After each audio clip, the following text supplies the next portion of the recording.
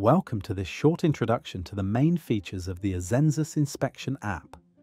The application runs on both Android and iOS, providing a seamless experience across platforms. When you open the Azenzus Inspection app for the first time, the app will prompt you to log in. If you don't have an account, contact us and we'll get you set up and ready to use the app in no time.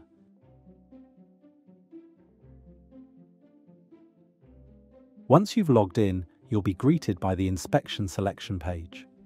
This acts as the home page where you can locate all features and navigate through the app. At the top, the header provides action buttons for selecting inspections, synchronizing with the web server, searching for specific locations or assets, and accessing the menu for more features and settings.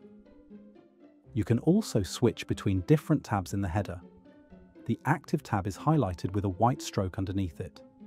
Below the header is the main content area, which displays the contents of the selected pages. Initially, nothing is shown because no inspection has been selected. To select an inspection, press the button in the header or the inspection selector. This opens a list of inspections assigned to you. Select an inspection by tapping on it. A pop-up will indicate that the app is synchronizing with the web server to retrieve the inspection details. To switch tabs, swipe left or tap the tab in the header. The Asset tab shows a list of all assets in the inspection. These assets are displayed similarly to location items. You can scroll through the list or use the search function in the header to find a specific asset. To view an asset, tap on it. This navigates you to the Asset page, which has three tabs, Attachment, Asset and Checklist. The Asset tab displays all the properties of the asset, grouped by category. The Attachment tab lets you view all attached photos in a gallery. Tap any photo to open it in a photo viewer. Use the back button or swipe to return to the gallery. The Checklist tab is the most important. Here, you can see all checklist tasks grouped by category. Each task shows its status, and you can quickly change it by tapping the arrow on the right.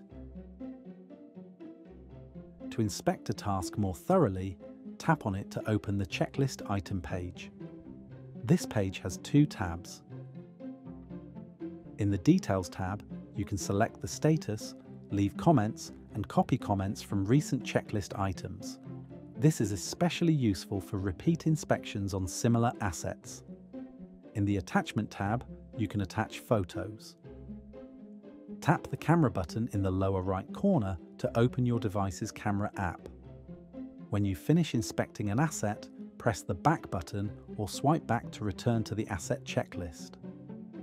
Now, let's return to the Asset tab on the home screen. While it shows all assets for the inspection, this layout can be overwhelming. To locate assets under a specific location, navigate back to the Locations tab. For example, if you want to inspect a specific location, tap on it. This will display the location's properties. In the header, you'll find an Attachment tab for photos related to the location, similar to the Asset attachment page. On the right, tap the Asset tab, which lists all assets for that location. This organised view makes it easier to locate and inspect assets efficiently. When you've completed the inspection, all locations will turn green, ensuring no tasks are overlooked. This concludes the basics of the Azenzus Inspection app. Happy inspecting!